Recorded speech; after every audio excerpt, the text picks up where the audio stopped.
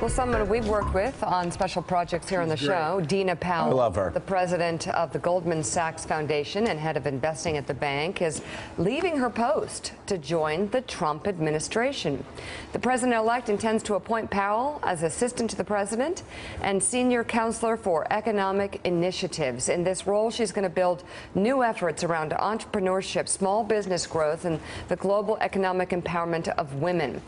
Now, Powell had oversaw some of Goldman's largest philanthropic initiatives, including the 10,000 Small Businesses program and also their program which helps female entrepreneurs around the So, world. She loves you guys, but We've, we've known a her really for I've known her for 20 years. Uh, and the thing I always liked about her 20 years ago when she was working in Congress, um, uh, and she worked for, for somebody that I was trying to throw out of Congress, which is uh, basically So everybody in leadership. adversaries, is what you're saying. Everybody- no, no, we weren't. And that's the thing. She was always polite and respectful. She always had a lot of friends on the Democratic side. It's very interesting. Last night, I tweeted out, hey, Dina Powell, known her for 20 years, great addition to any team. Immediately, Nick Kristof tweet, Right. retweets that and says, I'm glad to have somebody like that around. She is great. She's Been is working great. with Who- Warren Buffett. is- Fierce. Who do we know who has had a more impressive resume prior to the age of 40 than Dina Powell? And you know what's so fascinating is she comes from Egypt, uh, came and I guess her, they went down to, to Texas, couldn't speak the language. Wow. It's a it's a really great uh, American success story. I think this is a good sign for women who are concerned about the Trump administration and whether uh, certain issues that are important to women might be overlooked in the coming years. Dina Powell is going to make sure that doesn't happen. We shall That's see. my gut, just from working with Join her. us now at the table. Uh, somebody who's, Oh, wow. who's been there from the beginning. NBC News correspondent Katy Tur. We were just talking about Donald Trump. We were. And, and it's explaining, you know, it's always a complicated relationship. How, how personally away from the camera, he's still charming. On camera, he's at war. Uh, let me get a book plug in here. I'm writing a Yeah, book, so I'm yeah. going. So I'm going back and I'm looking at all of uh, the various things that, that that happened during the campaign trail, and I'm finding very the variety of interactions that we had uh, over the 17 months. And I, I keep finding over and over again, even at the tensest moments with, between me and the campaign, you know, reporting on leaks and reporting on, you know, holding him accountable to, for some of the things he said. Behind the scenes, when I would run into him, he was overwhelmingly friendly, sometimes to a point where it took me aback. Um, and there were cases. talking about the, the kiss?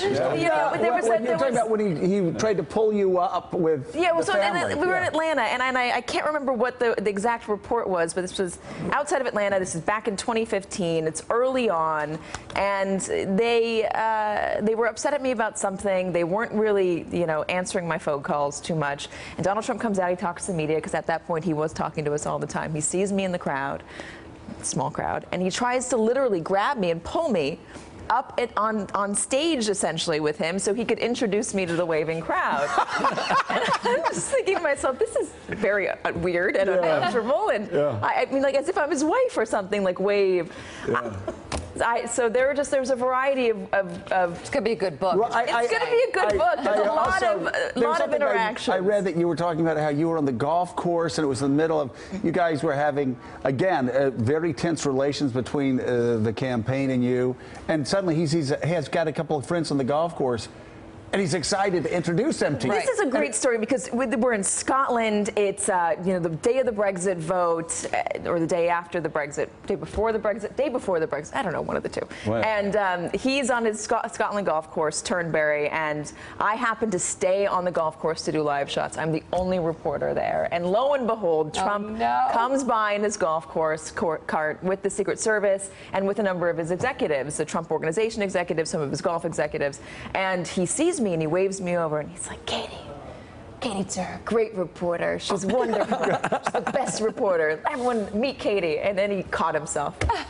Sometimes. Sometimes. So you realize you are now going to get in trouble for normalizing. Oh, no, it's right. not. No, and listen. I, I think that there's there. You have to be very clear. The- Donald Trump, the the person that is on stage, the person that is uh, running, um, going to be running the White House, needs to be held accountable for the things he says Yeah. and the things he does, and the inconsistencies and the and the variety of um, controversies and scandals that are out there. And he needs to answer questions on Russia more specifically than right. I've So, got nothing but, to do but, with that. So, Katy, but the, the- the important question is, though, that I think a lot of journalists would want to know that haven't had as close of interaction with him as you have is what's Trump doing? Is that him playing the press, or is that just Donald Trump? Who- No, that's just Donald Trump. It's not him playing the press. Exactly, It is exactly. just Donald Trump. He will say that to anybody that criticizes him. He will try to win them over behind the scenes. And that is what frustrates him.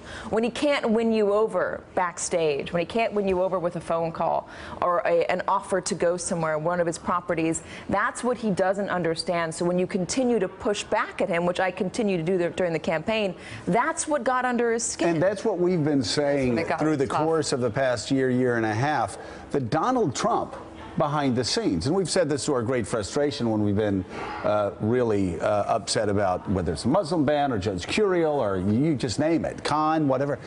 The Donald Trump behind the scene is one person, but when he goes in front of the camera, it's almost like he puts his helmet on and he transforms almost into this reality show character who he says, okay, this is my public persona, and if somebody fights me, I'm going to war. I think it's very interesting that when you ask Donald Trump a question he might not know the immediate answer to, um, or might not have thought through uh, before, say on on um, uh, a myriad of issues, Planned Parenthood being one of them. His immediate reaction is a more moderate position.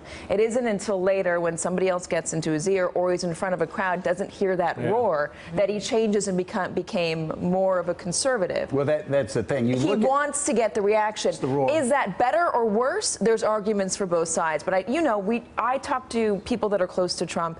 And they say that he's not as conservative as he made himself out to be on the campaign trail. He's and they promised, He's not and they at promised over and over again that he was going to change and he was going to come out. Well, and be as- different, as we've said never all along, Democrat. But he never yeah. did, and that is the that is the point. And as much as Donald Trump's c- companions and aides might say that he's against the Muslim ban that doesn't exist any longer, Donald Trump himself has not come out and said that. It's the roar. And that is That's very important. It's the roar. All right. That's what he plays. Shift. Thanks for checking out MSNBC on YouTube and make sure you subscribe to stay up to date on the day's biggest stories. And you can click on any of the videos around us to watch more from Morning Joe and MSNBC. Thanks so much for watching.